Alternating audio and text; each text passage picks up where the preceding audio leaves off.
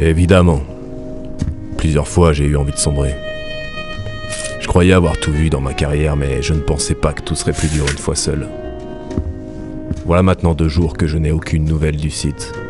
Aucun mail, aucun appel, rien. Néant. L'attente est longue, douloureuse. Mais j'ai fait une promesse. Je dois absolument conclure cette affaire de colis. Et pour l'instant, la boîte aux lettres est toujours vide. Hmm. Ah, monsieur Delahaye. Vous tombez bien. Vous. Vous n'auriez pas eu des nouvelles du facteur par hasard?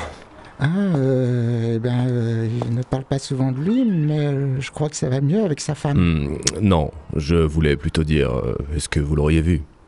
Ah, euh, eh bien oui, il vient juste de passer là.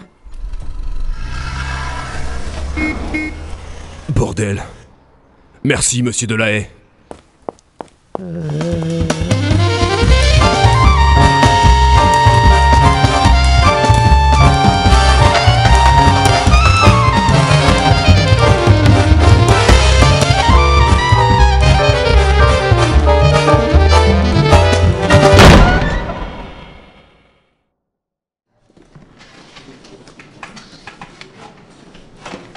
C'est le monsieur bizarre.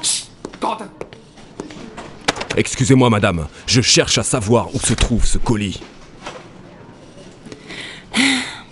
Il faut faire la queue comme tout le monde, monsieur Minus. Ouais, c'est vrai ça.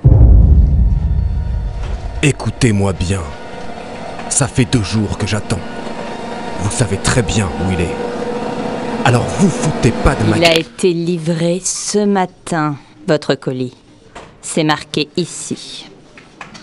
Ce matin. Vous savez, ça doit être encore votre voisin. Re bordel Merci pour tout, madame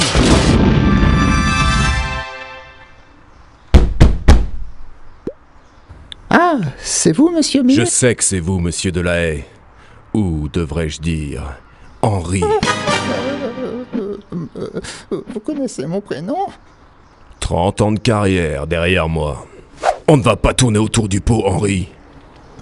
Euh, Pour votre colis, c'est ça hein Eh bien, ce matin, quand le facteur est passé, il m'a bien livré un colis, mais au moment où je me suis rendu compte que c'était à votre nom, vous étiez déjà parti à la poursuite du facteur. Voilà, tenez. On dirait bien que c'est une enquête résolue. Merci beaucoup, monsieur Delahaye. Tout est rentré dans l'ordre. Oui, au plaisir, monsieur Minus.